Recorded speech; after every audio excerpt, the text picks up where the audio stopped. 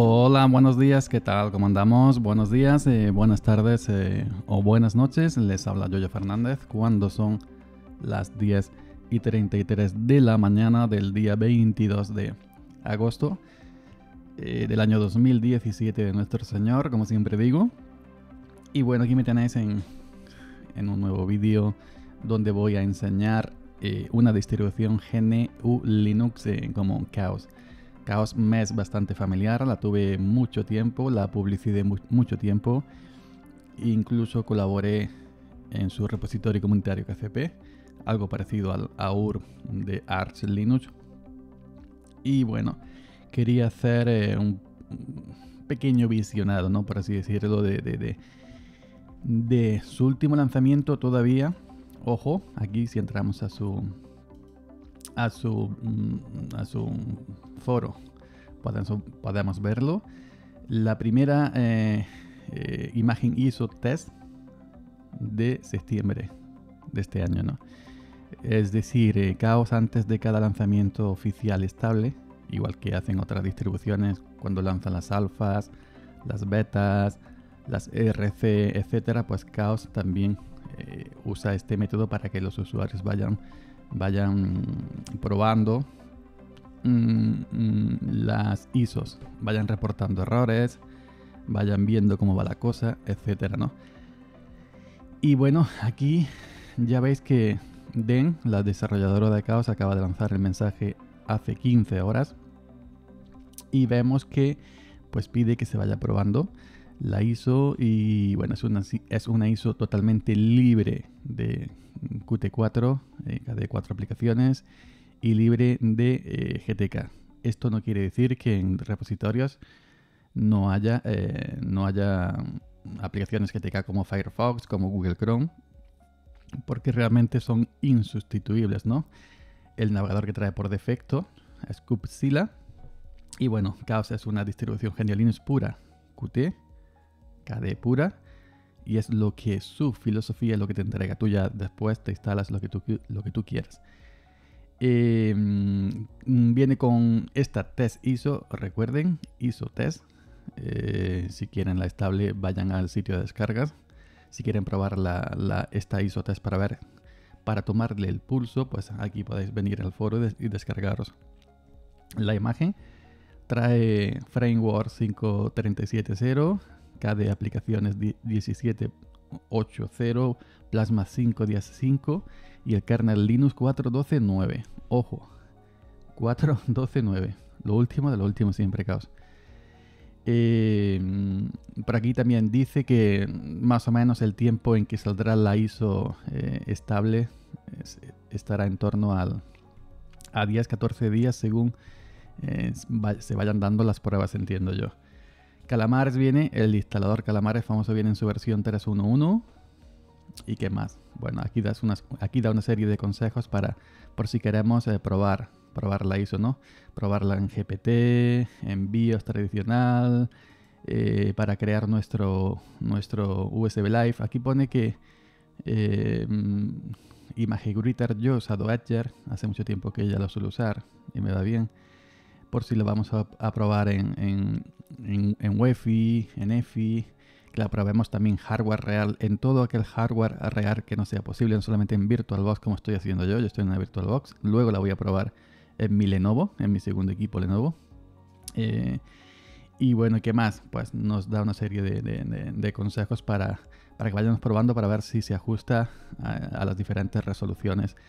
Eh, si queremos reportar cualquier eh, error, tenemos que usar eh, o lanzar el instalador calamares con sudo calamares espacio guion d y etcétera. Y aquí al final, aquí al final eh, vemos los enlaces eh, a SourceForge donde se encuentra esta ISO test. Vuelvo a recordar, es una ISO test de prelanzamiento para ver el estado de, de, lanzamiento en sí, ¿no? Propiamente dicho. Y con todo lo que trae por aquí ya, ya lo veis, ¿no? Eh, Octopi 09 eh, versión de desarrollo. A mí me encanta ese, me encanta esa GUI. Entonces, ¿qué os parece? Ya veis, bueno, aquí entráis al ISO, de, al ISO, perdón, al foro de Antargos y veis toda la información. ¿Qué os parece si ya le damos, le damos mm, con la instalación, ¿no? Vamos a cerrar Kubzilla.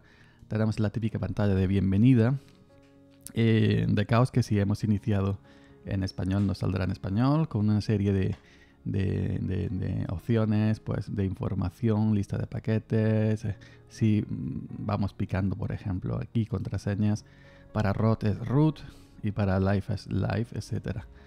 Eh, lista de paquetes. Si picáis aquí, pues supongo yo que se abrirá eh, efectivamente la lista de paquetes propiamente dicha. Todo lo que viene en esta, en esta ISO test. Y algo que me ha sorprendido, porque yo ya la he pasado en pendrive, la he pasado en pendrive y la he iniciado en el portátil hacer. Es que cuando he abierto Dolphin, gestor de archivos Dolphin, bueno, vienen los archivos ocultos por defecto que se muestran. Lo podemos quitar si queremos con la tecla F8 eh, algo que podemos ver es que, eh, mm, han cambiado. Es decir, han cambiado la forma en que entrega Dolphin, la forma visual. Normalmente todas las distribuciones KD Plasma que yo he probado lo entregan como viene, tal y como viene de, de, mm, fábrica, ¿no? Tal como lo entregan los chicos de, de KD Plasma. Y aquí vemos que han puesto a la izquierda en vertical, tal y como hacemos ya muchos, muchos, muchos usuarios, la, barra de herramientas, solo iconos. Y a la derecha han puesto el panel este, el panel este gordo, donde se ve y donde se ve, eh, pues eso, eh, lugares, eh, etcétera, etcétera, ¿no? documentos recientes y nuestros dispositivos conectados. Que es así como lo dejo yo y como lo deja mucha otra gente. Lo único que no le dejo es la opción de ver el espacio libre porque no sé porque no, no me gusta que, esté ahí. Pero bueno, me ha sorprendido. me ha sorprendido que es, la primera mm, distribución eh, enfocada a plasma, de plasma, a la que se la veo. Me ha resultado simpático. Eh, bueno, vamos a instalarla entonces en hardware real cuando termine esta instalación. Bueno, vamos al lío.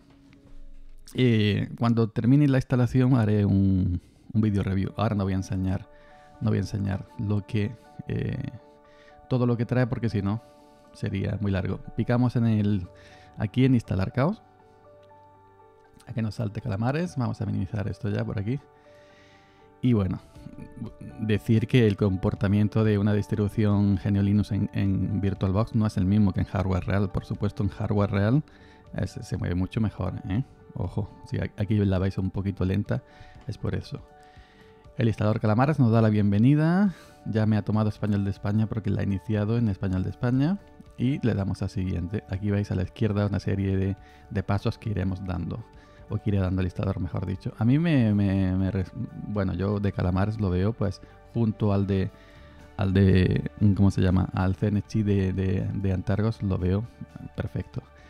Ya me han visto estoy en Madrid para mi zona horaria. Siguiente español, español por defecto en mi mapa de teclado. Podemos probar la ñ. Vamos a ver. Ok, la ha reconocido perfectamente. Siguiente. Y aquí bien podemos elegir el automático, borrar el disco completo o manual, no sé. Bueno, vamos a elegir el manual esta vez, ¿no? Siguiente, como no tengo ninguna tabla de particiones, pues tengo que crearla. La voy a crear en MBR, no en GPT, la antigua Sanza, porque voy a instalarla en, BIOS tradicional de Gazi, no, no, en, no en, ¿cómo se llama? No en UEFI, entonces elijo MBR. Esto la vida del señor, ya tengo el espacio libre aquí. Y vamos a crear para, para la partición raíz.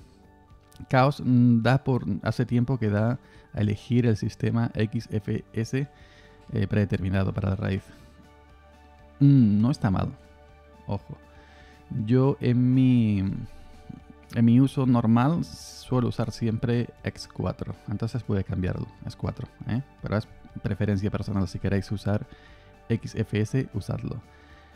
Para, em, para em, la partición raíz, vemos que hay 73 GB con 852 megas. Vamos a dejarlo en, eh, no sé, en 25, ¿no? 25 GB para la prueba en simplemente. Para la prueba de de esto. Aquí no hay que marcar nada, es decir, el espacio, em, punto de montaje sería la barra inclinada que es la raíz y el sistema de archivos 4. Esto ya lo tomo por defecto los indicadores, no hace falta hacer nada para una instalación normal y corriente, entendemos.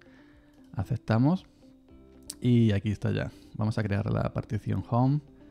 Crear, pues tenemos 48, 48 eh, mm, gigas libres. Vamos a, tomar 42 y vamos a dejar 6 para la partición de intercambio swap. Em, es 4 nuevamente, repito, aquí son gustos personales. Yo uso S4 hace mucho tiempo. Y Home. Ok, le vamos a dar a aceptar. Muy bien, tenemos nuestra raíz, nuestro intercambio Home. Y por último vamos a, crear la partición de intercambio Swap. Yo hace mucho tiempo que siempre la dejo en último lugar. Y nada más. En Linux Swap, 6 GB. Y damos aquí a aceptar revisamos eh, raíz, home e intercambio. Y bueno, el, el, disco este que se va a instalar aquí y el group que se va a instalar en SDA, ¿correcto? Pues siguiente. Nos sale un aviso por si estamos usando GPT, es decir, lo que tenemos que hacer, crear eh, una tabla de particiones GPT envíos, etcétera, etcétera, y darle un espacio sin formato de 8 megas con el indicador BioGrid habilitado. Nosotros hemos elegido BIOS, no, no GPT, hemos elegido MBR de toda la vida. Entonces esto no le hacemos caso. Ok, aceptamos. ¿Cuál es tu nombre? Pues mi nombre, mi nombre es ninguno, o sea, una película de, Terence Hill y James Fonda. ¿Cuál es tu nombre, Yoyo? Nombre para el sistema, Yoyo. Eh, ¿Cuál es el nombre del, del ordenador? Vamos a poner Caos. Caos eh, guion VB, de, v, de virtual, del VirtualBox original. Mi contraseña. Y aquí podemos elegir, veis, una contraseña para usuario y otra contraseña para administrador. Podemos, podemos eh, mm, tener dos contraseñas distintas o bien marcamos esta casilla que dice usar la misma contraseña para la cuenta de administrador, como hace Ubuntu, Linux Mint, etc. Esto ya al gusto. Vamos a crear eh, una contraseña distintas o preferís la misma? Vamos a crear distintas. Entonces, para mi usuario. Y ahora para la contraseña de root. De superusuario. Todopoderoso. Pero ya os digo, si queréis usar la misma, pues marcáis esta casilla donde pueden usar la, la misma contraseña para la cuenta de administrador. ¿Está todo correcto? Sí, pues siguiente. Y ahora aquí tenemos un resumen de lo que hemos hecho. Revisamos que todo esté correcto. Eh, pam, pam, pam, pam, particiones, teclado, pam, pam, pam, pam, ubicación. Y lo que va a hacer aquí, pues siguiente. El instalador KO va a hacer cambios, sí, sí, sí. Luego podrá deshacerlos. Perfecto. Sí, instalar ahora. Y ya está. Le damos ahí que Calamares vaya haciendo su trabajo. Veis que a pesar de estar en una VirtualBox, mmm, pues mm, se ve bien. Es decir, renderizado se ve bastante bien. No digamos que aquello, ay, qué feo es. Pues no, aquí tenemos, ya sabéis. eres puro Qt, eres puro KD, eres puro plasma. Caos, es la tuya. Indudablemente. Distribución GNU Linux rápida. Em, con base con gestor de archivos Pacman el todopoderoso gestor de archivos de los chicos de Arch, rápido como ninguno. Y bueno, también mm, antes si vas a usar caos como el de la motocicleta que, va para arriba, siempre no hay día que no grabe que no pase el tío de la moto. No hay día que no grabe que no pase el tío de la moto. Siempre, siempre. Mm, creo que es el mismo, siempre, ojo.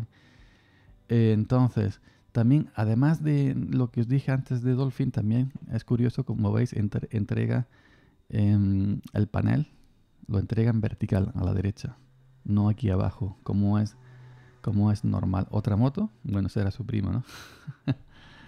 el, panel lo entrega aquí a la derecha y ya te lo entrega con, con ciertas cosas ancladas por defecto. Échate esto para allá, ¿por qué no se va esto para allá? Bueno, a ver si, le he dado sin querer a salir y estamos, estamos aquí mm, en peligro. Bueno, lo entrega por defecto con una serie de, cosas ancladas. La calculadora, Yo la verdad, si soy sincero, no entiendo por qué hay que poner ahí la calculadora. Ya son gustos de la desarrolladora y del equipo de, que le acompañe, ¿no? Pero bueno, si te gusta la dejas, si no te gusta la quitas, problemas ninguno, oigan. Entrega también esto de para bloquear, es decir, eh, bloquear pantalla. Tampoco lo pondría yo, ¿no? Yo normalmente cuando instalo se lo suelo quitar. Pero ya os digo, estos, son cositas que, que lo podemos quitar a nuestro gusto o poner. Esto es, esto es eh, simplemente lo de la bienvenida, la pantallita de bienvenida, que la tengo ahí minimizado. Y esto supongo yo que será notas, efectivamente. Mira, esto sí es útil tenerlo ahí, a la vista. Es útil, pero bueno. Y aquí abajo pues tenemos los típicos eh, iconos, la hora, el volumen, eh, dispositivos para expulsar, la red, Octopi, eh, distribución del teclado y el contenido del portapapeles, que eso lo traen prácticamente todas, todas las distribuciones. No suelo usarlo nunca, pero bueno, ahí está. ¿Qué más tenemos de mm, otra cosa? Otra cosa que me he acostumbrado en Plasma, en KDNeon lo uso y en OpenSUSE lo uso, que no uso el menú este en estrecho, larguito, así en cascada. Uso el ancho, el de toda la vida. Entonces, eh, Luego se, lo cambiaré. Vamos, ya que, lo he, ya que lo he abierto, vamos a echar un rápido vistazo de desarrollo. Tenemos todo esto. Compare, compare, como se dice aquí en Andalucía. Eh, compare, compare. Sistema malo. Bueno, educación, en gráficos tenemos eh, Kirigami, G el de, es que los nombres de KDM resultan. Eh, internet, Cusila, Skype y KDE oficina ocular, preferencias del sistema, eh, sistema, etcétera, utilidades, eh, objetos perdidos e inicio apagado. Os digo, es una ISO test, no viene completa, es una ISO mínima.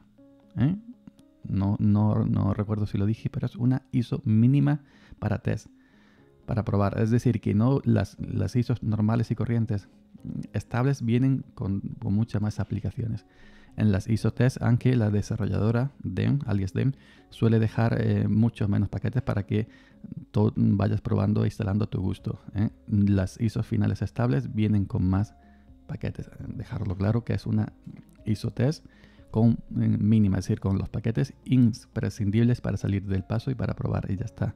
No os asustéis, que no es así siempre.